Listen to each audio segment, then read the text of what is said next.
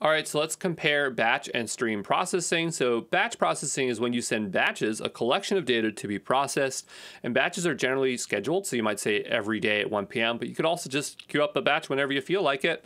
Uh, batches are not real time, meaning that all the data is sent and then you wait until the batch is back to see the results. Batch processing is ideal for very large processing workloads. Batch processing is generally more cost efficient than stream processing.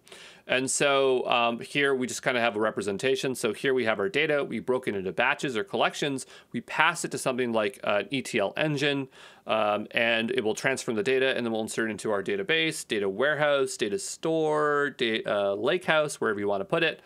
Then we have stream processing. So this is when you process data as soon as it arrives. You'll have producers, which will send data to a stream, and consumers, which will pull data from a stream. A lot of times a stream will look like a pipeline, and data can be held in that uh, stream for uh, a period of time. So you have a, better reusability of data if you need it for multiple um, consumers.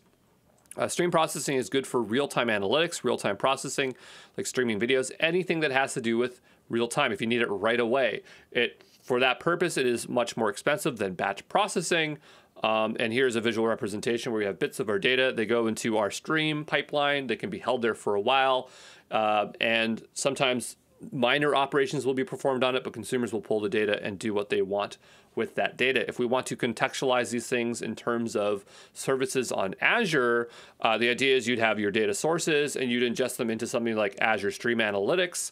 Or, and I didn't really make this graphic very good, but the idea is that you go into Stream Analytics, or maybe you'd go into HD Insights, or maybe you'd go um, into Azure Synapse Analytics, or one of these intermediate steps, and then eventually you go to Power BI to make your visualization reports. For um, stream processing, you could use Event Hub.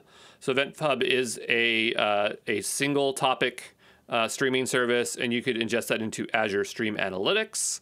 Um, it's funny because this is the Stream Analytics icon. This is actually the Hadoop icon up here. I just got it mixed up. But um, anyway, you go into Stream Analytics and then you could insert that into CosmoDB and then maybe pull CosmoDB into Power BI. Um, but yeah, that is the difference between the two, okay?